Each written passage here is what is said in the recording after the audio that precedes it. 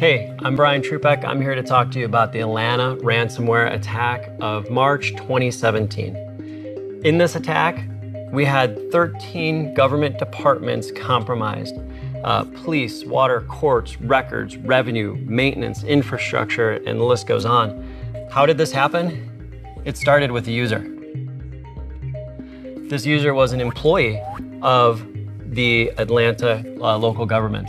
He ultimately was communicating with outside vendors, as they do. And in this communication, uh, he was sending emails. He got an email back, and that email contained an attachment. That attachment just turned out to be malicious in this case. That user, expecting that attachment, ran the attachment, and now the hackers had the authoritative execution environment of that employee into the Atlanta network infrastructure. The Atlanta network infrastructure had all of these departments connected. So now all these interconnected departments, the hacker has access, and now he is installing software very patiently, very meticulously inside of each department to monitor and manage these machines, gaining access to full control. He hasn't unleashed the attack yet. He's waiting to gain as much control of this network as possible. As he's going into these systems, there's usually a web component of the system.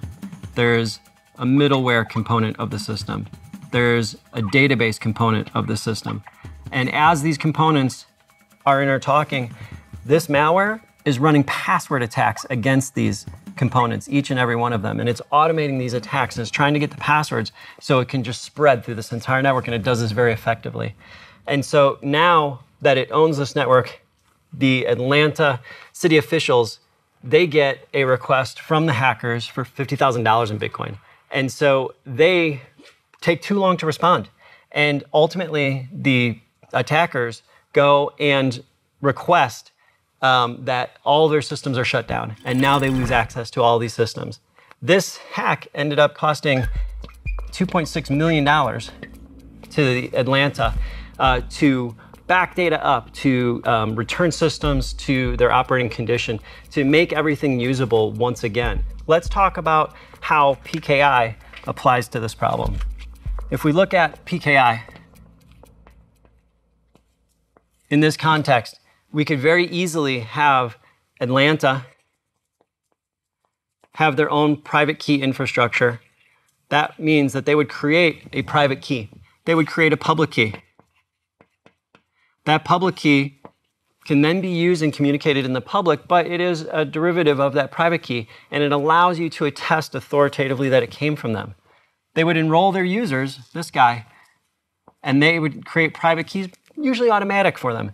Those private keys would come into their PKI architecture, their infrastructure, with a public key from that user, get signed by the Atlanta PKI, and returned as a public key, which is really a digital certificate to the user, get installed for that user, and now that user is able to use that. Um, in this sense, really as a password. That password is cryptographically secure, revocable, that it cannot be breached. As we move that PKI into our problem space here, it's very interesting because in this email, we could have used a signed email to ensure that it came from the, uh, the person sending it. We could have used um, signing on that email uh, and encryption on that email to ensure the contents.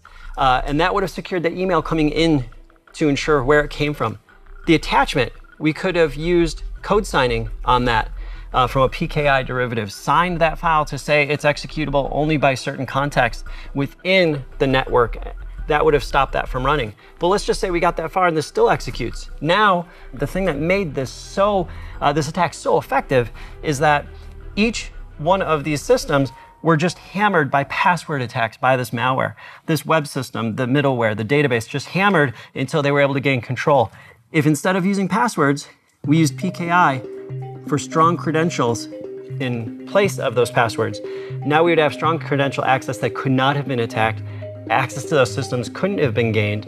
And now PKI would really become the key for this problem.